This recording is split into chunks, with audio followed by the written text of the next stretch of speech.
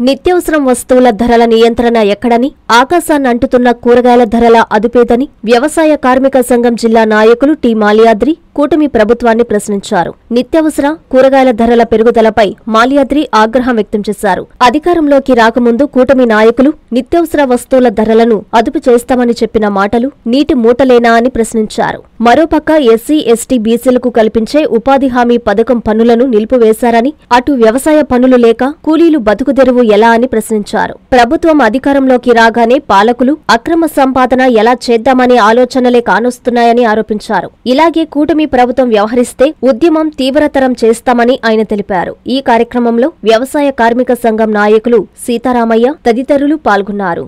మన ప్రాంతంలో నిత్యావసర వస్తువుల ధరలు విపరీతంగా పెరిగినాయి. బియ్యం పదహారు వందల రూపాయలు ఇరవై ఐదు కేజీల బస్తా పదహారు వందలు పదిహేడు వందల రూపాయల దాకా అమ్ముతున్నారు. కందిపప్పు వచ్చేసరికి నూట తొంభై రూపాయలు తర్వాత నూనె వచ్చేసరికి నూట నలభై రూపాయలు పామాయిలు.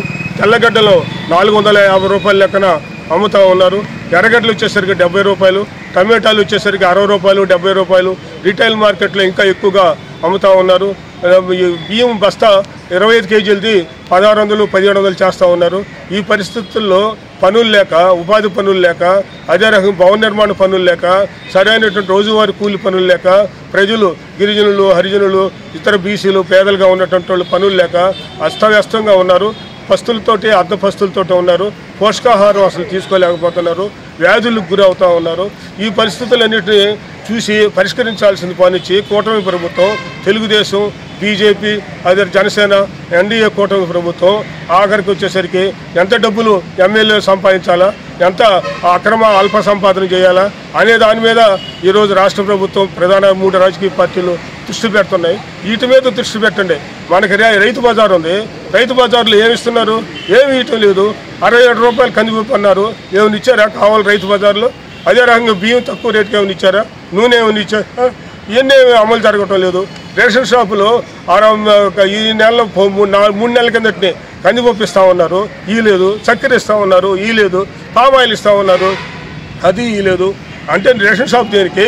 ఈ రైతు బజార్లు దేనికి?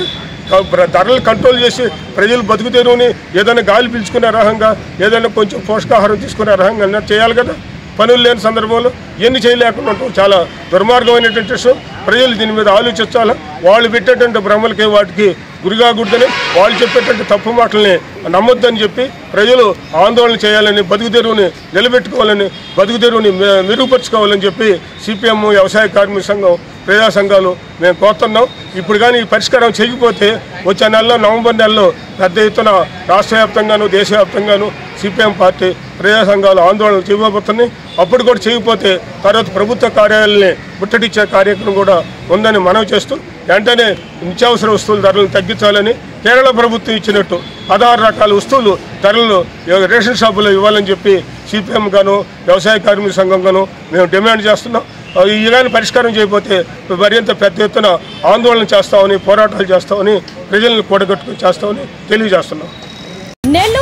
ప్రజలకు సరియు హీరో వారి దీపావళి శుభాకాంక్షలు. ప్రతి హీరో వాహనం కొనుగోలుపై ఎంఆర్పి పదిహేను వేల రూపాయల విలువ గల స్మార్ట్ వాచ్ ఎంఆర్పి ఆరు వేల రూపాయల విలువ గల గ్రైండర్ మరియు ఎంఆర్పి పదివేల రూపాయల విలువ గల దీపావళి క్రాకర్స్ ఉచితం. హీరో స్కూటర్ కొన్న వారికి యాక్సెసరీస్ పై fifty percent discount. Hero motorcycle కొనుగోలుపై యాక్సెసరీస్ పూర్తిగా ఉచితం. విరా ఎలక్ట్రికల్ స్కూటర్ కొనుగోలుపై యాభై తొమ్మిది వేల నూట అరవై రూపాయలు క్యాష్ డిస్కౌంట్ పొందండి. బజాజ్ ఫైనాన్స్ ద్వారా హండ్రెడ్ పర్సెంట్ ఫైనాన్స్ ఇవ్వబడను. ఆఫర్స్ మా వంతు ఆశ్చర్యం మీ వంతు విచ్చేయండి sir you Hero. BJP office ప్రక్కన mini bypass road Ramurthi Nagar Nellore. Phone nine zero one triple zero three four five nine.